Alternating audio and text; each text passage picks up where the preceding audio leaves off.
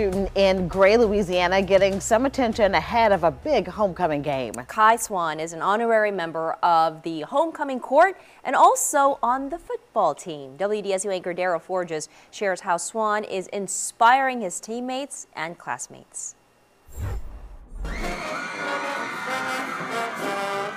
The roar of the crowd, the cheers, the band playing, the energy from the pep rally at HL Bourgeois High School. It's homecoming. One of those on the court, Mr. Kai Swan. senior Kai Swan, who comes out front and center, a moment this senior thrives in. He has overcome so many challenges in his life. From being told that he would not be able to walk, he's still not very verbal, but he can say some things. Kai is like any other teen, especially when it comes to his style. Every morning, when we get up and get dressed for school, he has to go look at himself in the mirror, make sure he looks okay, and then he picks out a bottle of cologne that he wants to wear. Kai is also the big man on campus.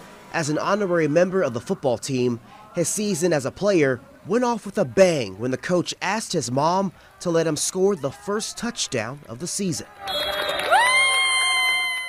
Kai absolutely loved it. Like from the time he stepped foot on the field, he was excited. When they gave him the ball, he was excited. When he saw all of the kids gathered around him, clapping and cheering for him, he was just overly excited. That just was a joy to see him and the excitement carried over into the to the school. Swan's resiliency is infectious on his fellow Braves teammates.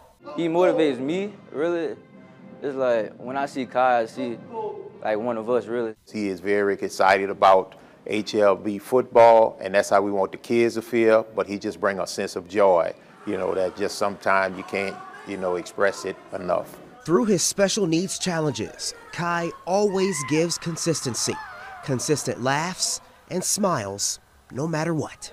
What you see right here is what you get daily, even when he's, you know, not even feeling well. So, and he's never, he's never met a, you never met a stranger, huh? Nope, he's never met a stranger. For WDSU News, I'm Daryl Forges.